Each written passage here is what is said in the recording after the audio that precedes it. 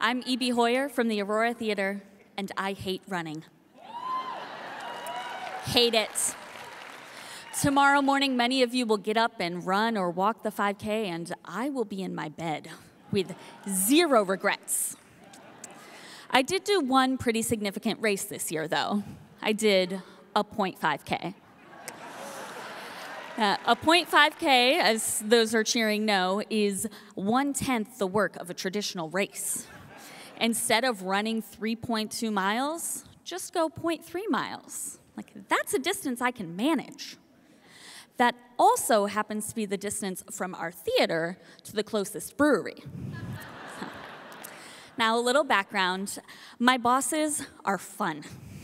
We've experienced a tremendous amount of growth and change over the last 10 years, but the fact that they are fun people remains. And it trickles into everything we do. When we receive a large grant, we'll call it Beer 30 to celebrate. When an employee goes away, maybe we'll have a Nerf war. Maybe we have lots of other things going on. I can't go into it. Our annual golf tournament has a costume hole and a tequila hole and a golf ball launcher and more. We are the embodiment of work hard, play hard. So when I suggested a fundraiser where you walk two blocks for a beer, it was a no brainer. They were immediately on board. Our friends at the brewery were excited to partner with us, and our board of directors laughed in the good way.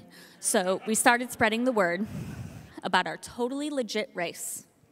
That's right, we treated our 0.5K like a legit, serious, normal race. Participants received a sticker for their car to let the world know exactly how far they could go. we had those inflatable start and finish lines.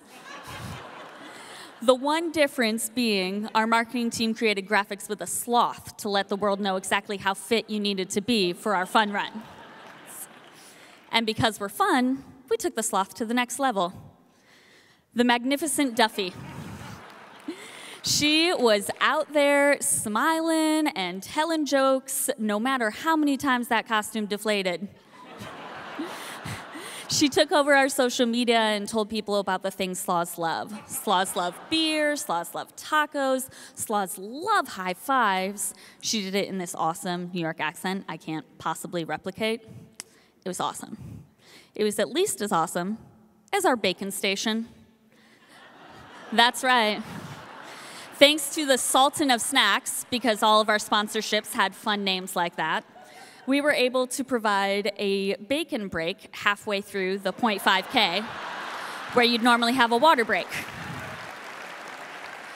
It's okay if you don't like bacon because we had local restaurants donate tacos and ice cream at the finish line. Because those are my two favorite foods, and I was in charge. All of our communication was tongue in cheek and just a little bit sassy. And I knew we were right on the money when I got this email that says, The race hasn't even happened yet, and I'm having so much fun. Now, we sold out of the capacity of the brewery a couple weeks before the event and had to turn people away. I'm not saying everything was smooth sailing, though. We had our hiccups. Things out of our control were changed, and we still had to answer for it. There was problem solving and troubleshooting like there is with any event. But I'm not here today to talk about overcoming barriers. You all do that every day. I'm here to talk about why a 0.5K worked for us. And here's the secret much like our staff and our bosses, the entire event was just silly fun. I don't know that we've ever done anything that was so on brand and so authentically us. The whole day was filled with laughter and joy, and people loved it. Because the thing people respond to above all else is authenticity. So don't go do a 0.5K. That's my thing. it's not gonna work for every community or every organization, but figure out what your thing is. Go all in on that. Say again, don't go do a 0.5K but do whatever is true to you.